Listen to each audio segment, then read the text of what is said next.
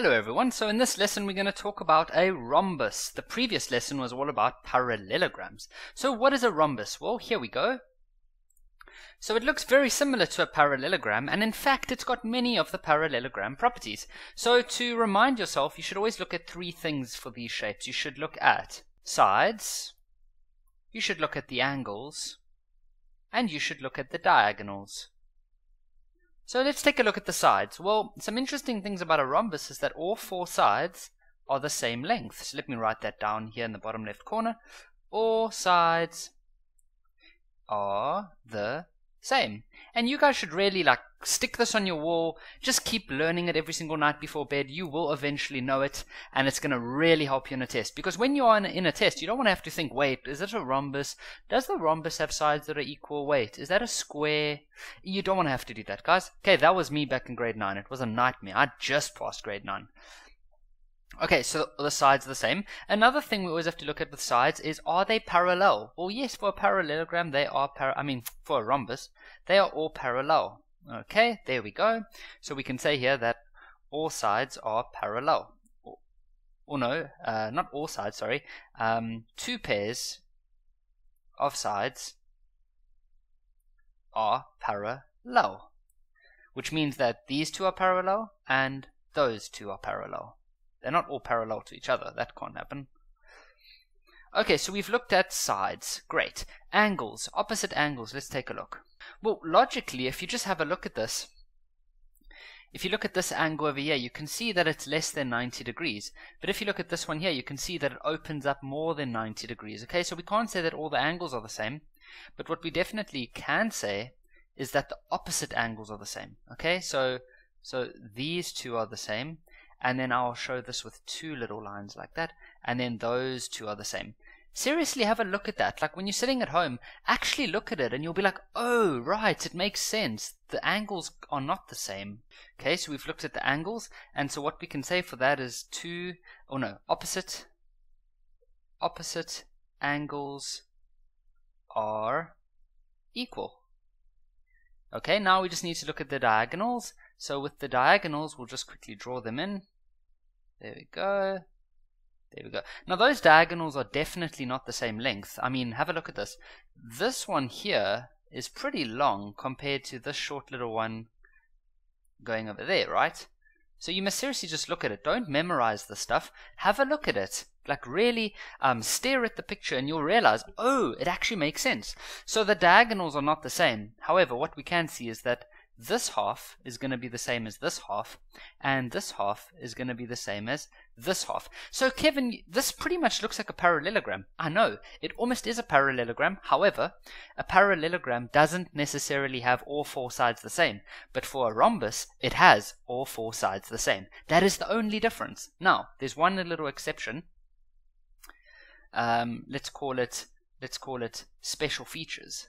Uh, some some special features about a rhombus is that these angles in the middle they are all 90 degrees. Okay, so we can say that uh, diagonals bisect at 90 degrees. That's important. Should have added here in our little list of properties that the diagonals bisect each other, meaning that the diagonals cut each other in half.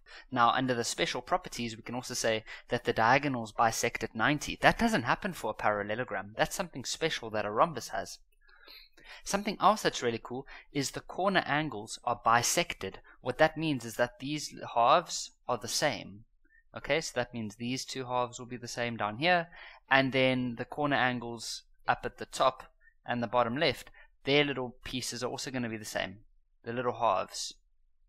Okay, so we can say that the corner angles are bisected. Corner angles are bisected. That isn't true for a parallelogram, but for a rhombus, it is. Okay, guys, so that's it for a rhombus. Uh, we're going to do some practice examples now, but these are the different properties that you need to know.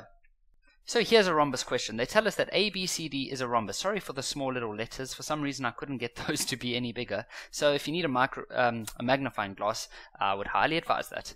So it says here, determine the value of x. All right, well, one way that we can do this is we could see that um, well, all, all the four sides are going to be the same, right? So we can say that um, AD is going to be equal to AB, which is going to be equal to BC, which is going to be equal to DC. Why? Because these are the sides of rhombus. That's my reason, sides of rhombus. We know that they are all the same. Now, why is this useful? Because this triangle over here is now isosceles. So we can now say that if you have an isosceles triangle, remember the two angles will be the same. So we can say that x is equal to b1.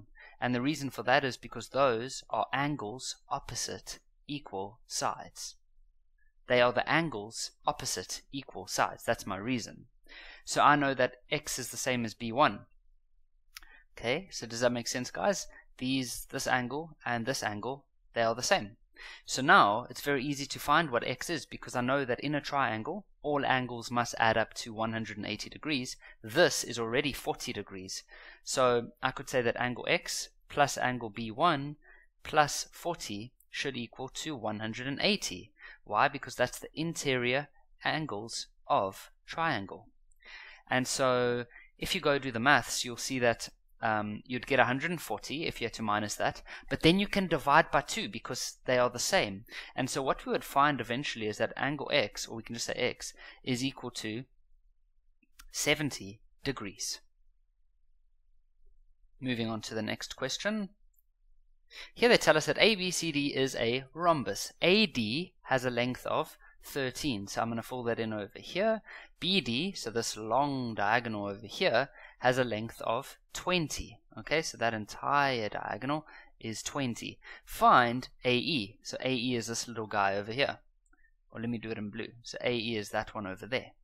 Now, here's the way to do a question like this. Whoops, I nearly raised the entire question. So what I want to show you guys is have a look over here. If I do this, and I do this, all of a sudden I have colored in a blue triangle, but that blue triangle has a 90 degree. Remember we said that the special property of a rhombus is that its corner angles are 90 degrees. Aha, okay, but I'm getting a little bit ahead of myself.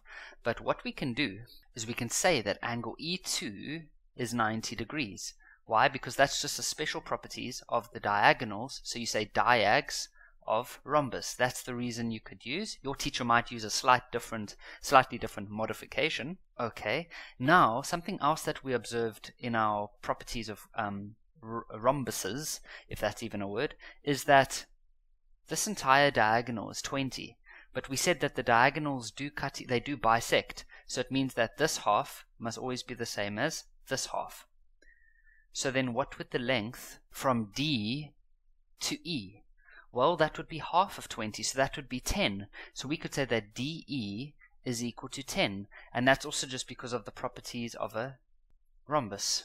And so now, guys, have a look here. Now, all of a sudden, we have that um, DE is 10, and it's a 90 degree triangle. So did anyone just say Pythagoras? Well, Pythagoras allows you to work in 90 degree triangles. And so we could work out AE. And so AE well, we know that Pythagoras says that you should always take the longest one, and that will be equal to the two smaller sides. So it would be 10 squared plus AE squared, and that is Pythagoras. Can you see that in the triangle that I'm working in? And now it's just a matter of solving for AE. So it will be AE squared equals to 13 squared minus 10 squared, and so AE squared is going to be equal to 69, and then to get AE by itself, you take the square root, and that's going to give us 8.31. 8.31. And there we go, guys. So that's a little introduction into rhombuses. Thank you very much for watching this video.